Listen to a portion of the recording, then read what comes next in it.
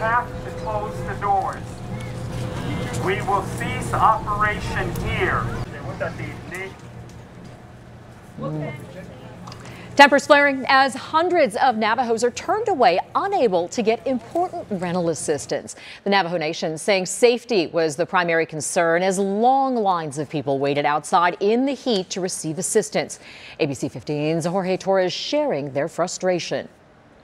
It was a frustrating day for many Navajo families who were waiting for hours with lines going as far as the eye could see, only to be turned away. While some did get some help, many didn't. They've been waiting. How long have you been in line for? Um, five o'clock this morning. And you didn't make it inside? From near I live here in the valley, been here for like 20 years. and far, I drove down from Flagstaff today. braving the blazing Arizona sun standing around in the heat as long as I get in, you know, before the day is over. to get much needed assistance from the Navajo Nation. People need their money, so and it's you know again, it's it's good that the Navajo Nation is helping us. Today was day two of the Navajo Nation's assistance drive in Phoenix, helping people with their hardship checks through the Office of the Controller, enrolling with the Navajo Nation, and with emergency rental assistance, benefiting those like Lawrence Lamont. Still looking for work, and so rental assistance is going to really help me out, hopefully for a couple of months. Many here were in line since 5 this morning, waiting for their turn in near triple digit temperatures. Because of the heat, We have to close the doors.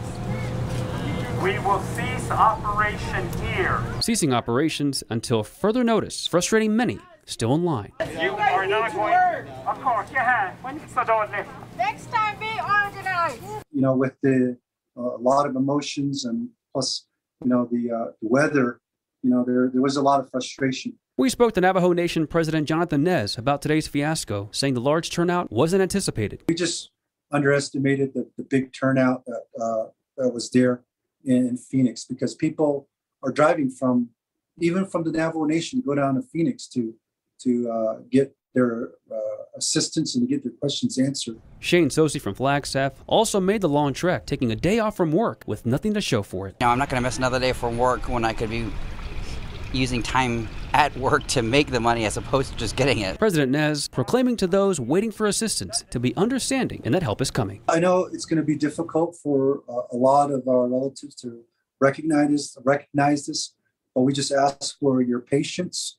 Uh, again, 300,000 of our Navajo people have received their their assistance, their hardship checks, and we're looking at about uh, under 100,000 still to go.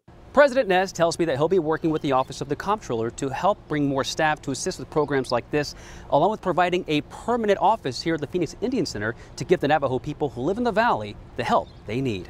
Reporting here in Phoenix, Jorge Torres, ABC 15, Arizona.